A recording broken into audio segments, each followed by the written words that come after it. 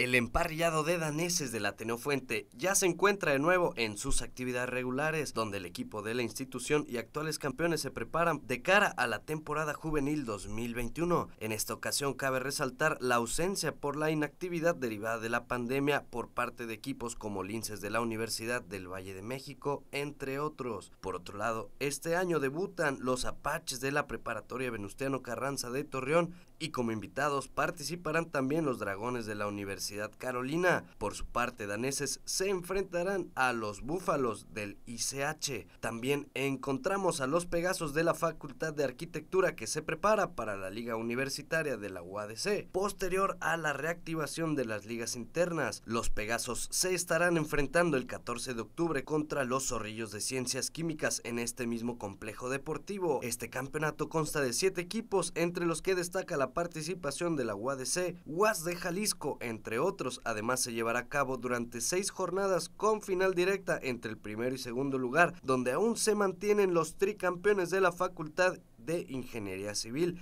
Y este año se extendió también la invitación a la Universidad Carolina, donde también se llevarán a cabo algunos encuentros durante la tercera jornada.